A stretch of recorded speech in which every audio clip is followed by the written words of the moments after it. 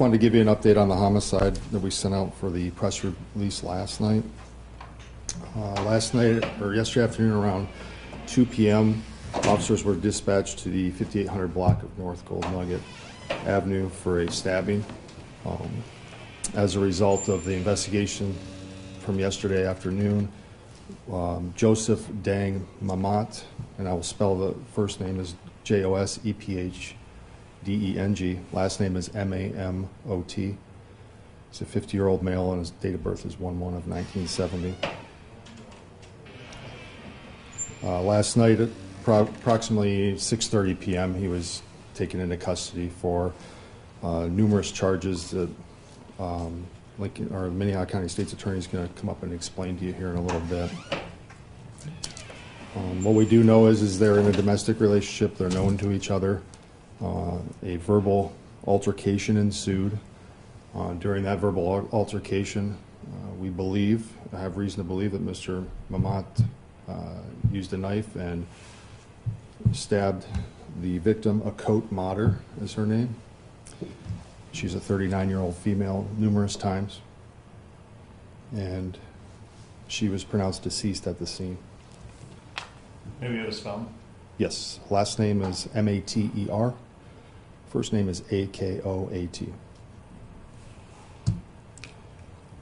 Um, During the incident, Mr. Mamot was injured as well. He was taken to the hospital for some medical treatment.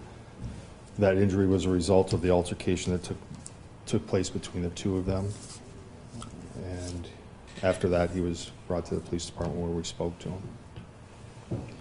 Um, We also executed or collected evidence at the scene, obviously, and from his person. I can't give specific details on what evidence that is, but we did collect evidence, and we believe this is the, he's the individual responsible for her murder, and that's why he's in jail currently. Do you have any questions on anything off, on that right now? Perfect.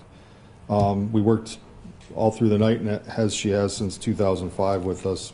Crystal Johnson, the Minnehaha County State's Attorney, worked with, us- works with us on every homicide.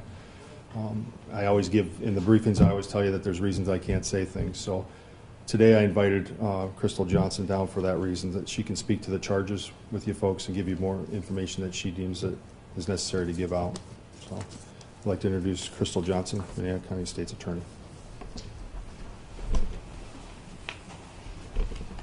Good morning. Uh, My name is Crystal Johnson. I'm the Minnehaha County State's Attorney. Uh, This morning, we filed uh, charging documents on Joseph Deng Mamot uh, for a charge of murder in the first degree, which we would typically know as premeditated murder. And then in the alternative, we have charged him with murder in the second degree, and then two counts of manslaughter in the first degree. Murder in the first degree is a Class A felony, which is punishable by life or death.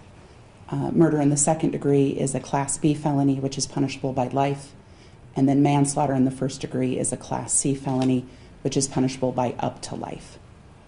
He will be scheduled for court today at 1:30 in courtroom 1A. Any questions about the charges that he is facing?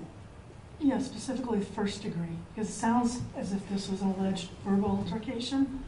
Yes. Wondering about the degree of planning. So, uh, what South Dakota uh, state law and case law requires is that for premeditation, there is no time frame that has to be required for time frame for determining premeditation. They don't require that there's minutes or even seconds. And then what uh, our law requires is that premeditation can be formed in an instant that uh, determination was made to uh, end somebody's life.